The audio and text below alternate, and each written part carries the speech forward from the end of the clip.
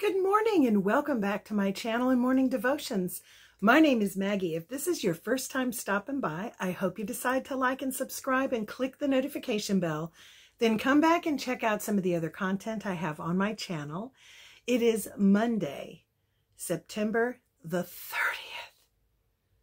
Last day of September. Uh, okay, we're getting ready to enter the last quarter of the year, the last three months.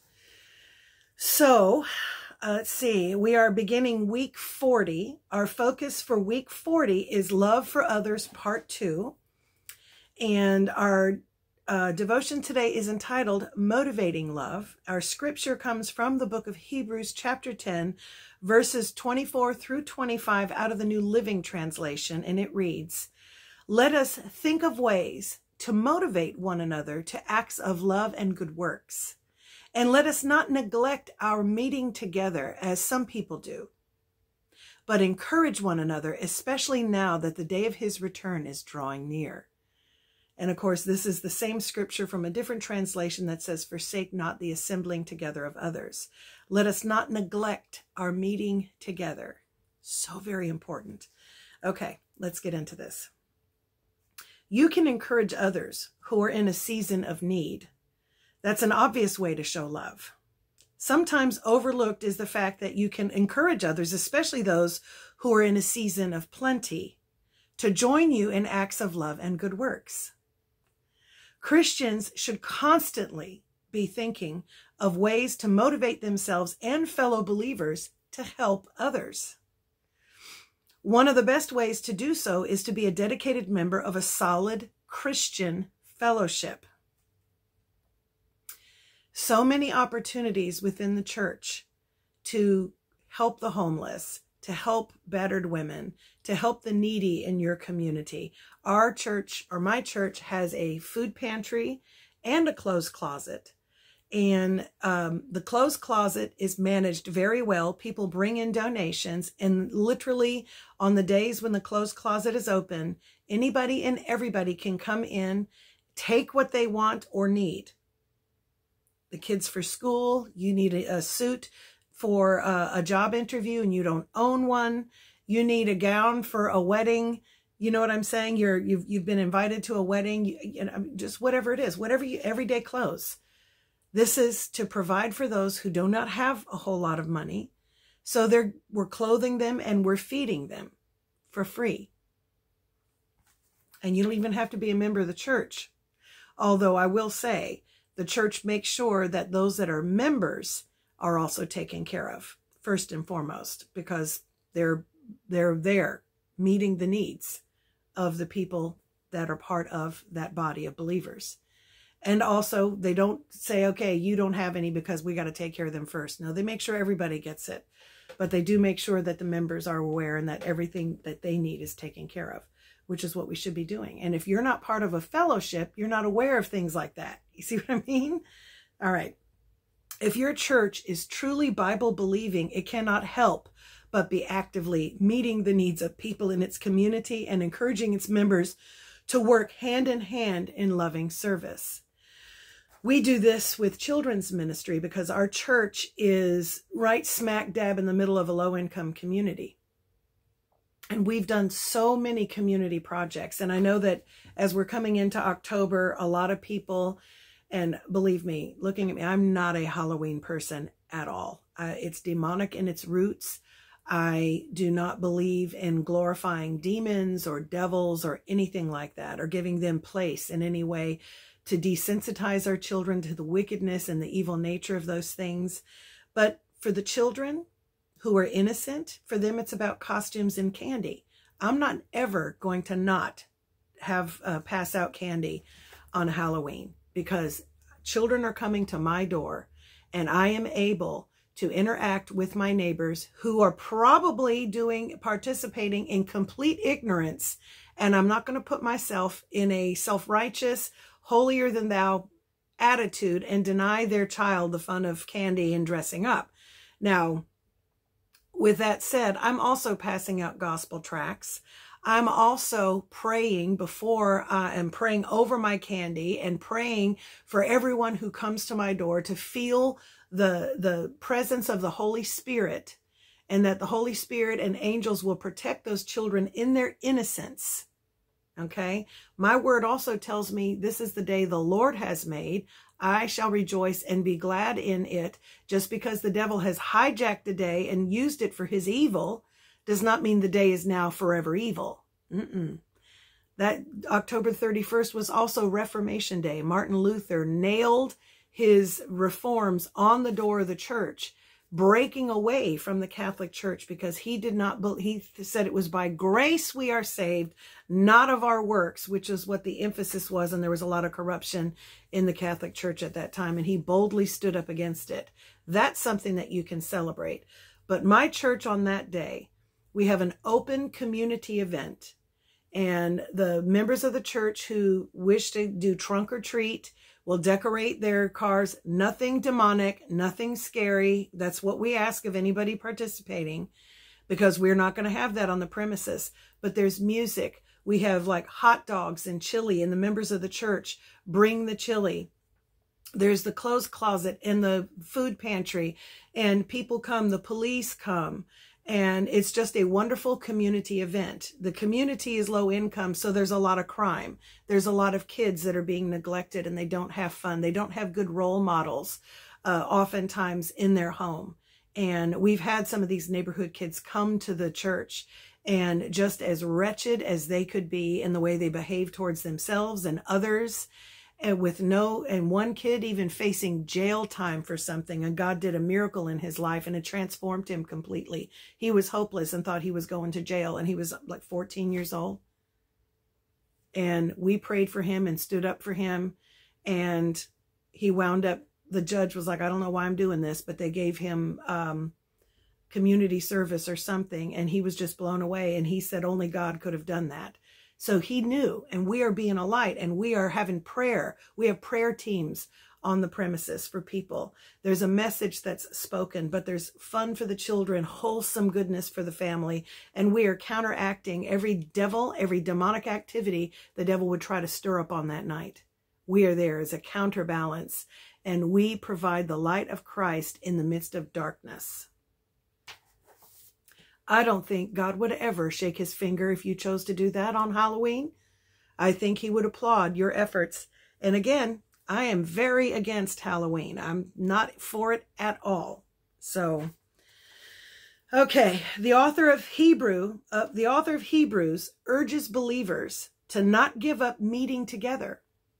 Gathering for church each week is immensely important and not to be neglected or done just when the mood strikes you or there's nothing better to do. Hearing the word preached, worshiping and serving others together are excellent ways to show encouragement and love. And I know that some people have mobility issues and maybe they haven't been able to leave their house, shut ins. I know that happens. But if you're not physically disabled, what's your reason? Now, if you do not have transportation, you can reach out to churches. Many churches have church vans. Many churches have a busing ministry where they have people that go around and they pick up children in the neighborhood. And if you need to get on a list, you can find out if someone, um, if a church has a busing ministry, say, I'd love to come, but I have transportation issues. Okay. A church is going to do its best to find a way to get you there. Many churches like mine have an online presence. That became a thing when COVID hit. Thankfully, we had a presence online prior to. It's live streamed on YouTube, on Facebook, those things. You may have to, if you don't have the technology, uh, start getting yourself acquainted with those options not as your substitute, but a way of checking out the preacher and the preaching and the worship and all that prior to. Many people have found us online and have been like, wow, oh, that's a local church right here in Hampton Roads. I need to go check this place out. And wound up coming and being part of the Freedom Fellowship family. That's where I attend is Freedom Fellowship. And I'll try to get the link to um, our live stream right here at the YouTube page where you can check us out live. and worship with us. It's always great if you don't have a church to find an online presence where you can receive some preaching where but it's really good to find one in your local community so that you can be actively doing something to bless others. That's really what God's calling us to do. So let's pray. And again, as always, I don't mean to say anything that sounds even remotely like condemnation because there is no condemnation to them that are in Christ. I am simply trying to urge you with the importance of what God's word says. We need to be coming together. And if you've been hurt by church, bad church experiences, let me say how sorry I am about that. I myself have experienced some bad experiences, but that's not the church. That's people. Okay. And you're going to run into people who are fallen, people who make mistakes, people who um, have work that God still has to do in their hearts and in their minds and attitudes. I'm glad he doesn't give up on us. I've had some very bad experiences, not from higher ups, but from people in the church. And it's a hard place to be because you want to go there, but you have people that make life miserable. And sometimes God is just saying, go on, move on, move on, move on. And we've had to do that. We've had to move on uh, when God said, okay, we're done here.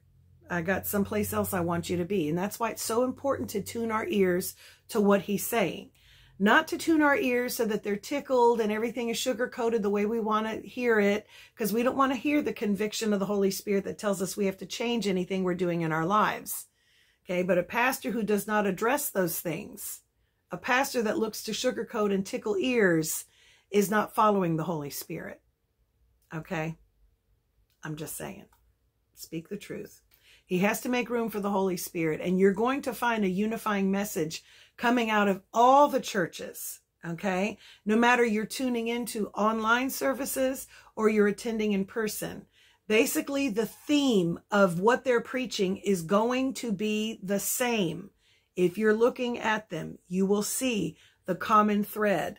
And that's the voice of the Holy Spirit. That's the unity of the Holy Spirit. If you have all these churches preaching one thing, you got some one off over here saying crazy stuff, well, you have to hear the Holy Spirit Okay. It could be that guy's the one who's only preaching the right thing, but I, you'll know, you will recognize what's true and what's not, especially if you are cultivating a relationship with the Holy Spirit. Even if you don't know how, you can just ask, Lord, I want to hear you better.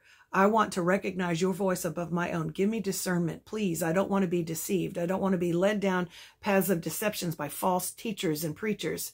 Lord, help me to see and recognize. When you are sincerely praying that, you are going to get it. He's not just going to leave you guessing high and dry. You're going to have an epiphany and a revelation and go, wow, okay, that for sure is not where I need to be. You have to sincerely seek it though. And when we are in relationship with him, we begin to recognize his voice. And every day he will give you practice. Every day. I'm not kidding. Every day he will say things to you. You'll have a thought come to your head. You'll be like, what? You know, and sometimes it's him telling you something that's going to happen. And then it happens. And then he's like, see, that was me. That was me telling you. He'll do things like that. You know, those deja vu moments when you're like, I just, how did I know that that was going to happen? Nine times out of 10, that's likely the Holy Spirit teaching you to hear his voice. Okay. You'll get that feeling in your knowing place about something. You'll have an inkling about something and you follow that gut instinct. Okay, gut instincts, nine times out of 10, are probably the Holy Spirit giving you a warning. Okay, just so we know, but you continually ask Him, help me hear your voice clearly. Help me not to be deceived. Give me eyes that see and ears that hear. You pray those prayers with all sincerity, and He knows if you're sincere or not. He will do it. Ask him for wisdom. James tells us if you need wisdom, if you lack wisdom, ask him and he'll give it to you. Ask him for those things.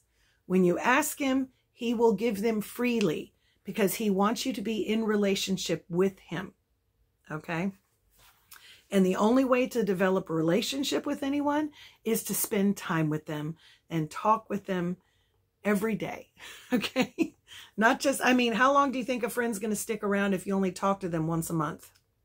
Or if they're only scratching at your door when they need something?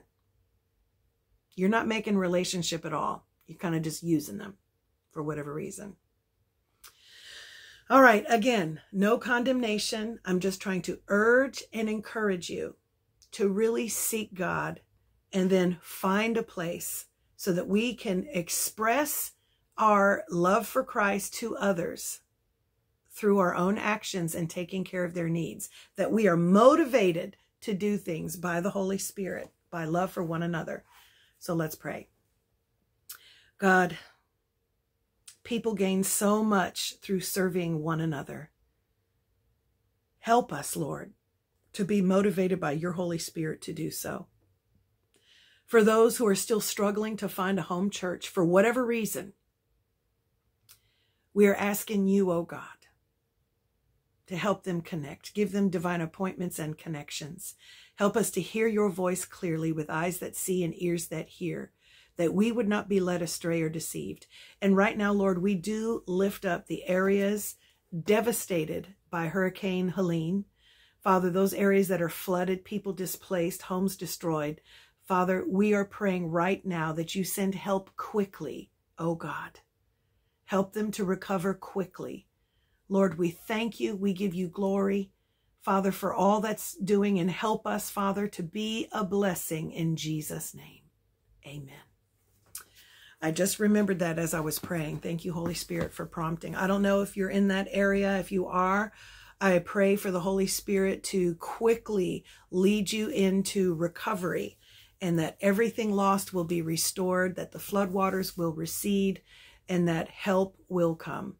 I know that uh, we are in a uh, difficult time in this country. And it is never, when you're dealing with a presidential race, it is never about political party. It is always about righteousness versus darkness. And I pray the Lord enable you to see that. That's truly what this is about. And that righteousness will prevail over darkness every single time. Some things have been allowed in order for exposures to take place. On November the 5th, 2020, I woke up and I said, Holy Spirit, I don't understand what's happening. And he said, I need to expose so I can dispose. That's all he said to me. For this, for the last four years, that's what I've been hanging on to. And I'm staggered at what has been exposed and what is coming. There's an exposure coming of international. I think I said this a couple of days ago. An exposure happening that is going to expose all the players of every evil deed that's happened, not just in the United States, every plot and scheme, it's going to be exposed. Nothing's going to be left covered up. Everything is going to be uncovered, and it is going to be a shocking international scandal. So be looking to God be the glory, not to d- take delight in someone's demise or their downfall. I take delight when the enemy is defeated and he is exposed. Every little dirty trick he's tried to do to God's people is not going to succeed. It's going to be openly exposed. And I don't know how he's going to do it. I don't know what way. I remember hearing from the prophet of God that all this exposure of Sean Combs, P. Diddy, is just a precursor to an even bigger exposure that's coming soon. So, wow. God, you know what you're doing. This is the God of heaven, our creator, keeping his covenant. Daniel 9 4, he is a great and awesome God who always fulfills his covenants and keeps his promises. Okay, he made a covenant with the founders of the United States of America. Our nation is founded on a covenant with God. There's only one other nation that is founded on a covenant with God, and that's the nation of Israel. God made the covenant with Israel. He's keeping it. We made a covenant with God. He's keeping it.